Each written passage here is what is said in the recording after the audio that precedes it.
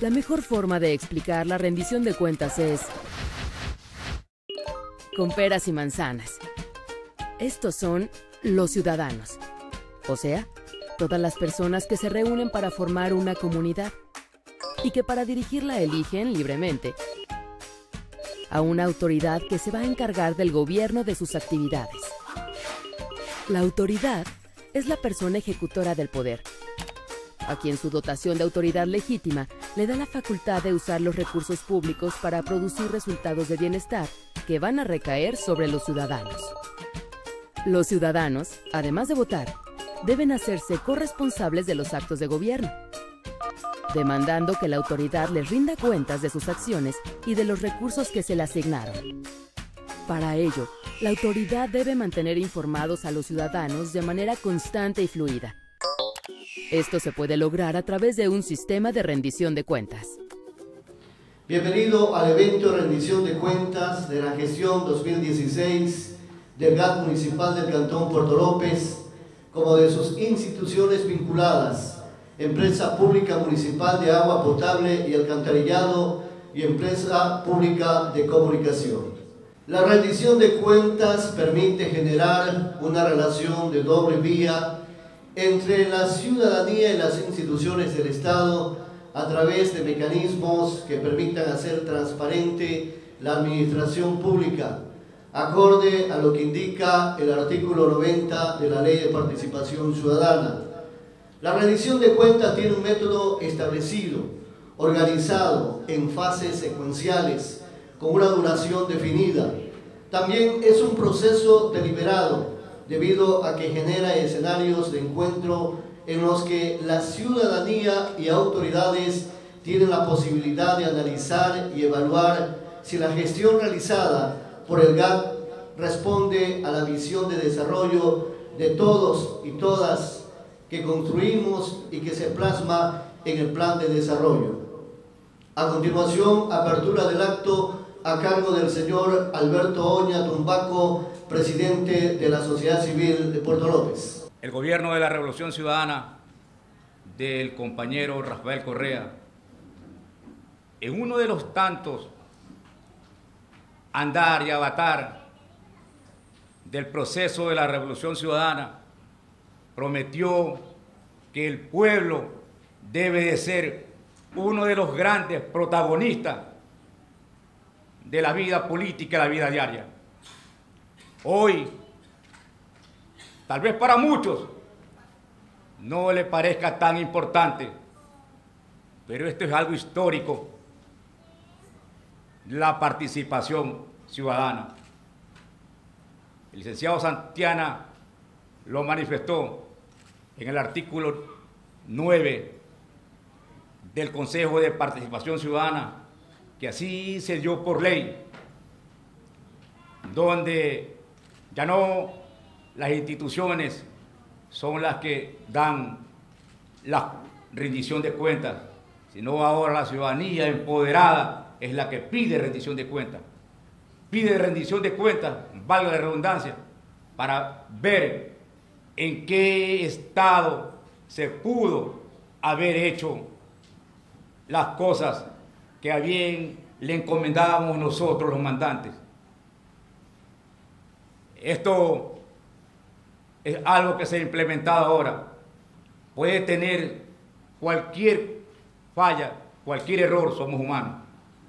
Pero de aquí, de esto comenzamos haciendo mejor las cosas. Quien nos anteceda lo hará mucho mejor. No estamos con el ánimo de venir a entorpecer ni venir a futigar a ninguna autoridad. Queda instalado este acto histórico para ustedes, ciudadanos, ciudadanas de Canto Puerto López. Muchas gracias. La Asamblea Ciudadana Local y el equipo técnico del GAT Puerto López, con fecha 8 de marzo, se reunió con la finalidad de planificar el proceso de rendición de cuentas. Se delinearon componentes de participación e iniciaron la convocatoria para crear espacio de consulta sobre los temas requeridos misma que fueron recabados para dar paso a la fase de información por parte de la autoridad. Para motivar el debate el día 27 de marzo del 2017, se instalaron cinco mesas temáticas en función a los ejes del Plan de Desarrollo y Ordenamiento Territorial, oferta de campaña de la máxima autoridad y el Plan Operativo Anual, herramientas que fueron entregados oportunamente a la Asamblea Ciudadana Local. En las mesas temáticas, la Asamblea Ciudadana Local determinó que los componentes más sobresalientes que la autoridad del Puerto López debe rendir cuentas son componentes económico, componente físico o ambiental, componente asentamiento humano, componente movilidad y conectividad y componente social y cultural. Estos componentes fueron entregados en Secretaría General. En ellos se desprendieron varias interrogantes, mismas que han sido disipadas por las instancias de participación y el equipo técnico mixto con sus respuestas respectivas. Es necesario señalar que la Ley Orgánica de Participación Ciudadana en su artículo 88 define la rendición de cuentas como un derecho que tienen los ciudadanos y las ciudadanas en forma individual y colectiva, comunas, comunidades, pueblos y nacionalidades indígenas, pueblos afroecuatoriano y montubio, y demás formas lícitas de organización para solicitar una vez por año la rendición de cuentas a las instituciones públicas o privadas que presten servicios públicos, manejen recursos públicos o desarrollen actividades de interés público. Dice un dicho australiano que estamos de paso en este mundo que en este mundo nos toca aprender, nos toca discernir, nos toca realizar, trabajar, amar, sentir y lógicamente también nos toca a veces perder. Basado en este dicho australiano, el día de hoy dando cumplimiento al mandato constitucional en el que estamos no solamente obligados, sino moralmente obligados a rendir cuentas a nuestros mandantes y por encargo de nuestro alcalde Miguel Plúa Murillo y la corporación, nos toca a nombre del gobierno municipal del Cantón Puerto López rendir cuentas a nuestros mandantes de lo que hicimos y de lo que dejamos de hacer en el año 2016. Durante los meses de marzo y abril y parte de mayo se llevó a efecto un sinnúmero de reuniones y asambleas en la que La sociedad civil, representada por el compañero Alberto Oña en calidad de presidente, se reunió con la comisión designada para el efecto y para poder de esta manera realizar preguntas y respuestas, ampliaciones, contestaciones y enfocar en las mesas temáticas todo el trabajo que de una u otra manera se ha realizado. El componente económico, el componente físico-ambiental, el componente de movilidad y conectividad, el componente social y cultural, son parte de este proceso que el día de hoy vamos a entregar a nuestra colectividad. Y pido permiso a la sala, señor presidente de la sociedad civil, para entregar este informe de manera conjunta con nuestros compañeros directores de área para que nos den a conocer detalles y pormenores respondiendo a las preguntas formuladas con antelación por parte de la sociedad civil. Y vamos a empezar con el componente económico. Las preguntas que se realizaron son en total nueve. Y para ello me permito llamar a nuestra directora financiera, economista Glenda, para que nos acompañe y nos dé contestación a cada una de las preguntas que la colectividad nos hizo a través de la sociedad civil. Y entre ellas están las preguntas que tienen que ver al tema financiero como parte del componente económico. Y también me permito llamar al compañero licenciado Ángel Pincay para que conteste las preguntas de orden económico-turístico y por supuesto también al compañero director administrativo para que también forme parte de las respuestas que tienen que dar en este orden. Y vamos a empezar primero con la primera pregunta. ¿Qué programas o campañas impulsaron para el desarrollo del turismo en nuestro cantón? Primera pregunta que pasamos a contestar de inmediato con nuestro compañero director, que de manera sucinta le pido a cada uno de los compañeros nos amplíen la respuesta en torno a esta. Al final estaremos haciendo un resumen de cada componente. Compañero director. En relación a la primera la primera pregunta, ¿qué programas o campañas impulsaron para el desarrollo del turismo en nuestro cantón? Tengo bien informarle dos, dos cosas muy importantes. En cuanto a programas, desarrollamos un programa de promoción turística que se inició en los primeros días del mes de enero del año 2016 y que culminó básicamente en el mes de noviembre con la realización de la competencia ciclística Ruta del Colibrí. Puerto López en el año anterior desarrolló dos eventos de promoción turística, dos eventos de promoción turística que permitieron posicionar el cantón en muchos aspectos, no solo los eventos de promoción turística locales, sino que tuvieron repercusión nacional porque se realizaron lanzamientos en diferentes ciudades del, del Ecuador.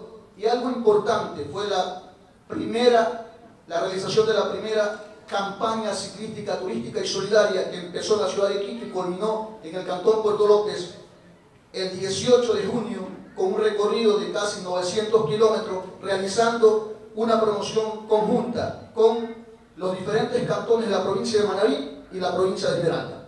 En cuanto a las, a las campañas, se realizaron campañas de capacitación, campañas de actualización de los diferentes establecimientos turísticos y podemos decir que Puerto López cuenta actualmente con 147 establecimientos de, de prestación de servicios turísticos clasificados en 81 establecimientos de hospedaje con 2.340 plazas 29 restaurantes con mil, alrededor de 1.300 plazas y 37 operadoras turísticas, el mayor número de operadoras turísticas en la provincia de Manaví.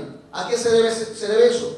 Estamos dentro del Parque Nacional Machalilla, el segundo parque en importancia a nivel del Ecuador.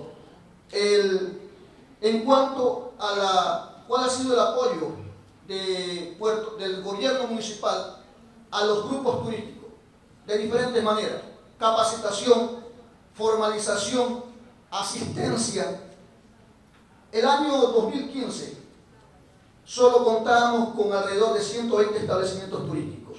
Se les dio asistencia, se los ayudó, se les entregó todas las herramientas básicas para que ellos pudieran formalizarse y actualmente podemos decir que contamos con una de las plantas turísticas con mejor actualización en la provincia de Manaví y gracias al trabajo tesonero del gobierno municipal, a la cabeza de nuestro alcalde, nuestro vicealcalde y todos los concejales, actualmente Puerto López cuenta o está incluido dentro del calendario de promoción turística de la provincia de Manaví y dentro del video promocional cuenta con 19 locaciones que son que lo ubican en el segundo mejor cantón con mayor número de atractivos promocionados no solo en, en la provincia de Manaví, en el Ecuador y en muchos lugares, en muchos países de Norteamérica, porque esto trascendió a nivel internacional. Muchas gracias a todos.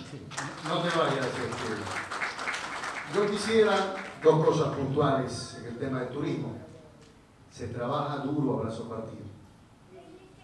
Sin embargo, como es normal, en esta vida somos de paso, aprendemos, cometemos errores, tenemos aciertos, como dice el dicho australiano.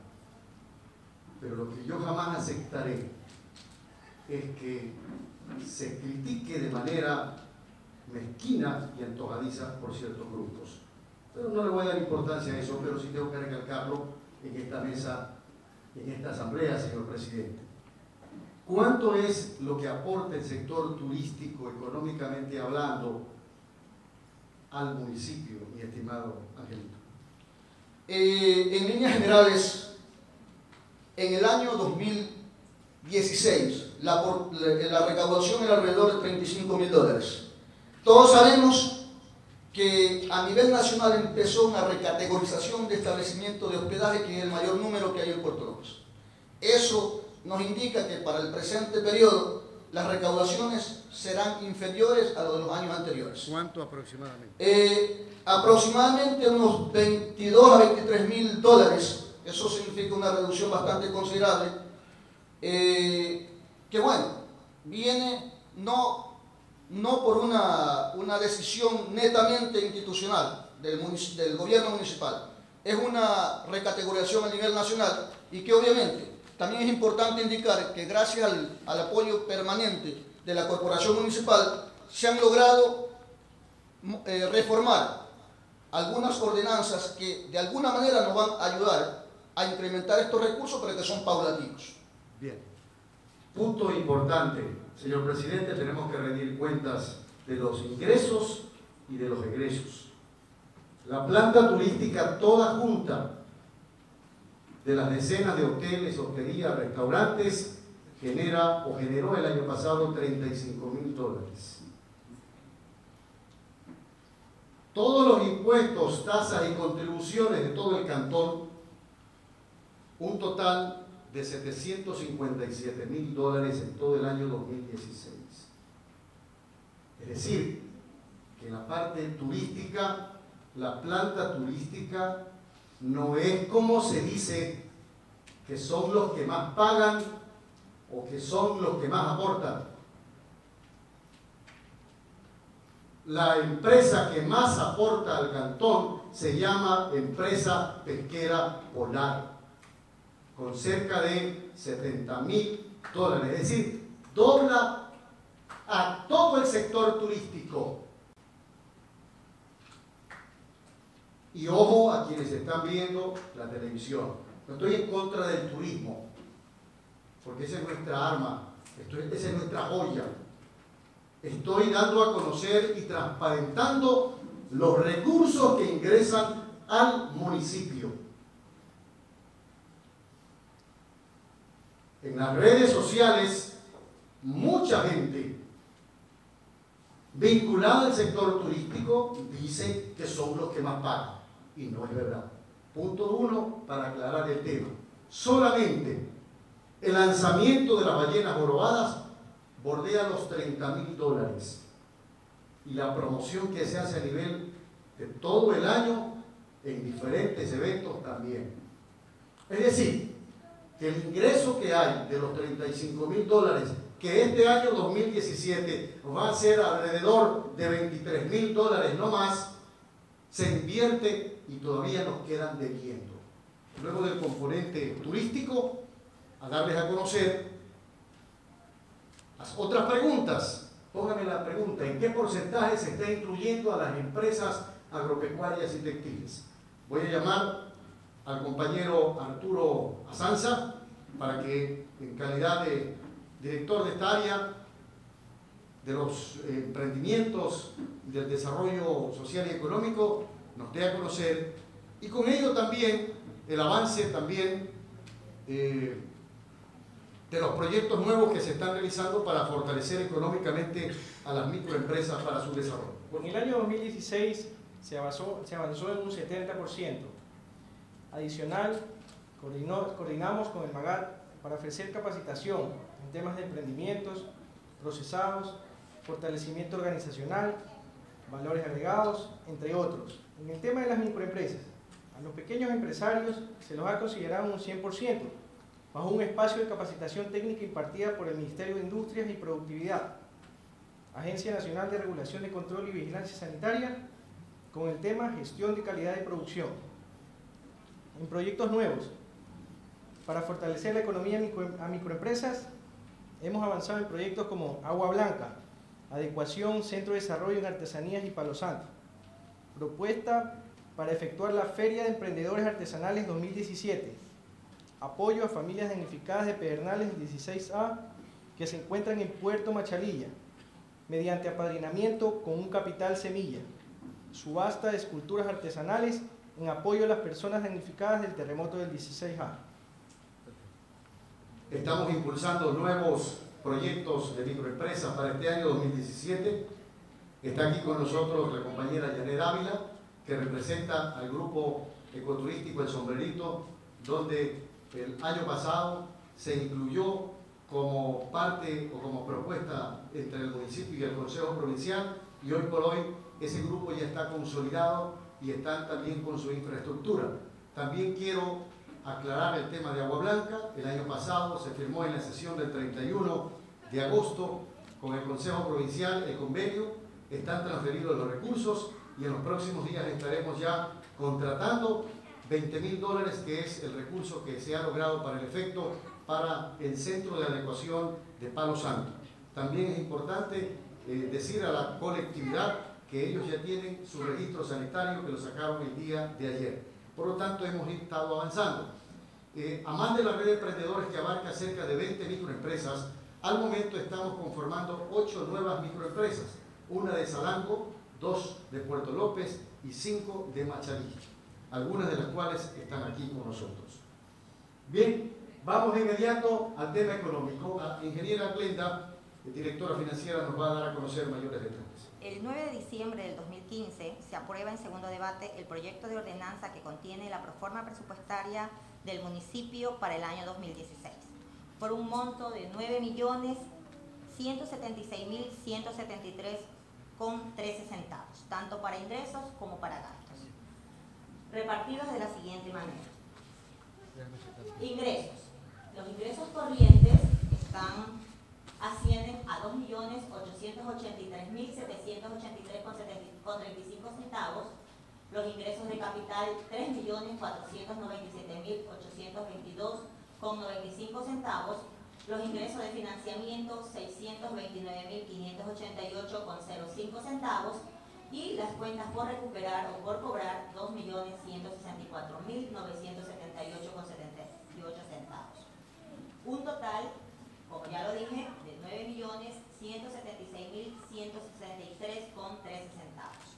De la misma manera, se reparten los gastos en los cuales tenemos que los gastos corrientes ascienden a 2.227.018 dólares con 17 centavos, inversión 4.981.750 con 33 centavos, los gastos de capital 791.663 con 49 centavos, y los gastos de financiamiento 1.175.741,14 centavos.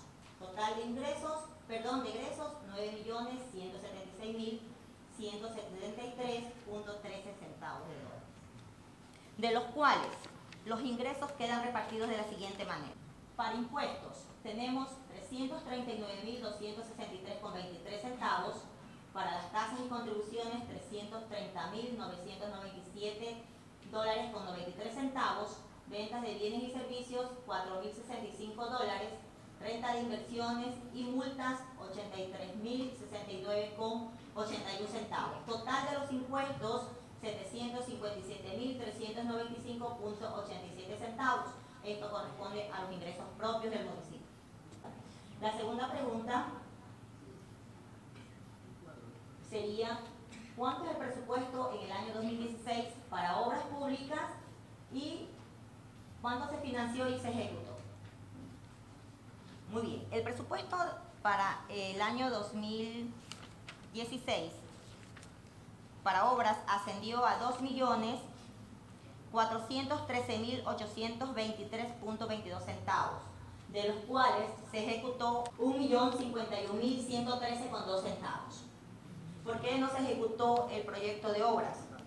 Tuvo que ver mucho con la reducción que se eh, mantuvo eh, por las transferencias del Estado, que ascendió aproximadamente al 30% en cuanto pues a este, las asignaciones. Recibíamos 320 mil de asignaciones y luego se redujeron a 234 mil dólares de reacciones mensualmente. Señor presidente, compañeros,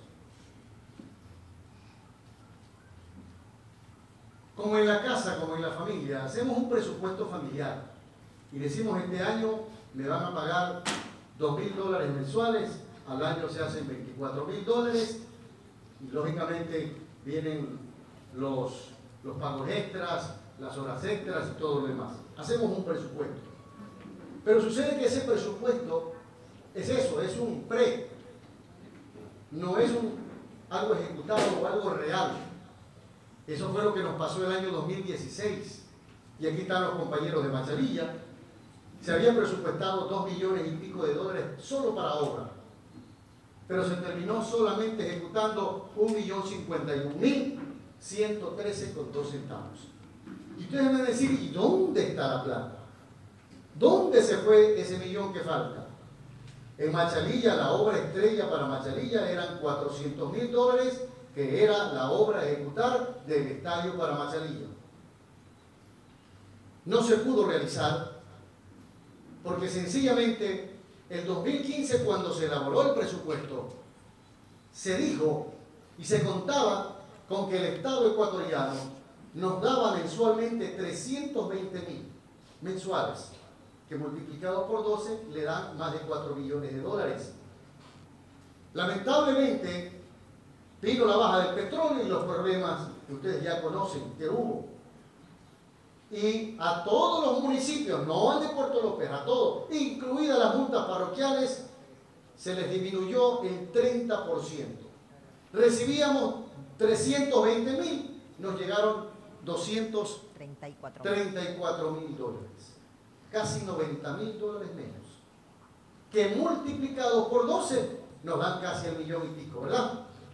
Eso es lo que pasó. Al no contar con ese dinero, tuvimos que ejecutar lo que teníamos. Es decir, 1.051.000 que está en estas obras. ¿Dónde está la plata? Eh, obras de prevención y limpieza, construcción de muros de camiones de 27.000, arriba de 60, eh, instalaciones eléctricas que ustedes ven, eh, construcción de celdas emergentes para el centro sólido y bien de ingreso, mantenimiento de adecuaciones, eh, y otros proyectos de 23. Es decir, quedamos debiendo efectivamente, quedamos debiendo muchas obras que lamentablemente se tenían que hacer y lamentablemente no se hicieron por la baja o la disminución en nuestros recursos. Sistema de rendición de cuentas.